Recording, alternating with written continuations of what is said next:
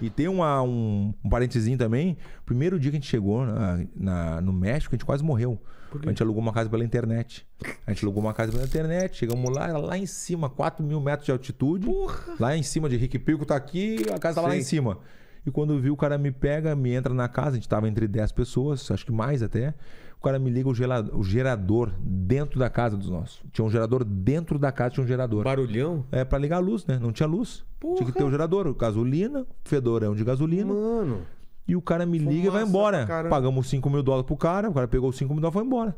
E deixou a gente ali. Se vira lá. Se vira aí, ligou o gerador e não falou Vai. nada pra gente. Ia na- dentro num quarto. E aquele fedor de gasolina, a gente, não, a gente tava assim porque a gente sabia que altitude tem negócio da tontura, tudo, mas a gente tava, pô, fedorão dentro de casa de gasolina, velho. E não podia desligar. Começamos a treinar, chegamos 11 da noite, começamos a treinar, treinar, treinar, pra tirar aquela nhaca da viagem. E quando viu, a gente comeu ali, meu irmão fez o rango, a gente comeu, tudo certo. Cada um foi pro seu quarto, né? Uma galera assim, tinha muitos quartos, né? Mas era uma casa bem feia, na real. E aí, bem, bem precária, na real. Daí, quando viu, todo mundo se encontrou na madrugada, três da manhã, todo mundo, ai, minha barriga, meu, todo mundo no banheiro, diarreia, vomitando. Mas a gente não sabia o que, a gente pensou que era da altitude. Pô, deve ser da altitude, né? A gente não se ligou. É da altitude, só pode ser da altitude, porque tá todo mundo mal, velho. Todo mundo se encontrou. Daí, quando foi dormir de novo, tentando dormir, aí meu irmão não aguentou mais, foi lá e abriu a porta da, da frente, aquela estilo, estilo uh, castelo, assim, bum, Sei. abriu, deu uma ventilada. Entrou o ar, mas não foi o suficiente. Daí, seis da manhã, todo mundo acorda, pegar uma, a gente tinha uma van, né? A gente foi direto pro hospital.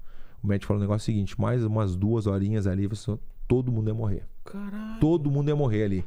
Daí, so, ah, oxigênio e, e soro na veia, direto. Soro na veia e oxigênio. O negócio era tão precário, o hospitalzinho que tinha, tinha que ser um cada um. Era um no soro e outro na. Entendi. Um, um com soro E e o outro com o negócio revezando. Não tinha pra todo mundo, não tinha. A gente teve que revezar, me lembro direitinho na, na salinha.